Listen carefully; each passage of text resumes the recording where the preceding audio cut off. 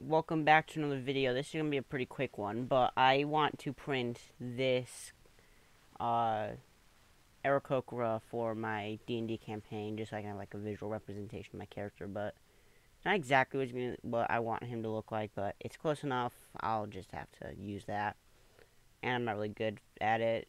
So this is the character uh, so pretty much, if you want to download, if you want to print multiple things at once on your 3D printer, and you use Creality, the Creality slicer, then this is what you do. So on Thingiverse, you just click Download All, and then after clicking Download All, you should go to your files. Oh,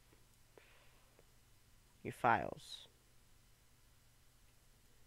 And then this is, actually no, you'll be in downloads. Just don't look at all this stuff.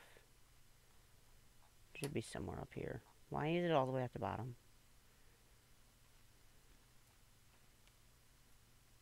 Dang, I have a lot of downloads.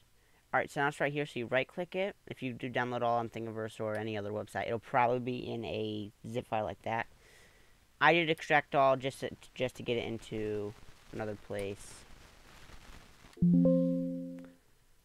But yeah, now I have all of these now not all I don't need all of these parts for it but now that I have it I open up just one of them just double click one of them and then you see this.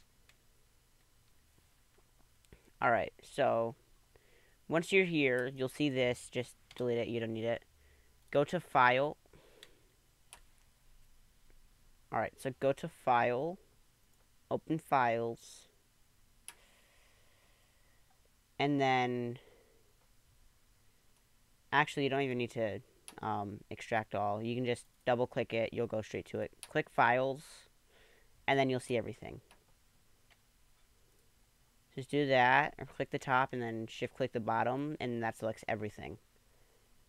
And then it will load everything. It won't be in each other, and it's all its own pieces, so you can move them around however you want.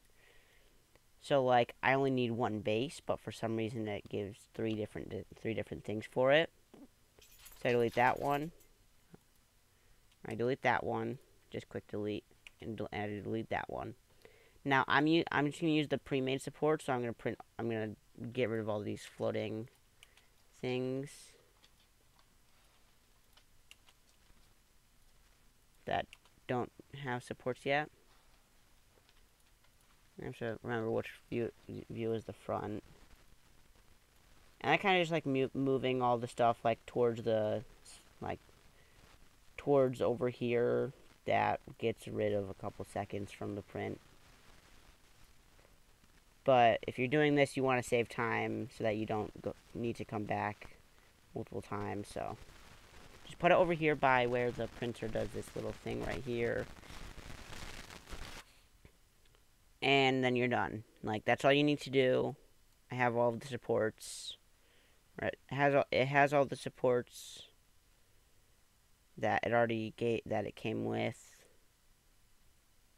and it's all ready to go. So now I just click slice, and I have just sliced one, two, three, four, five different objects. But if it's something bigger that has a bunch of parts, you could like put one part here, one part here, one part here, one part over here, maybe a few more parts over here.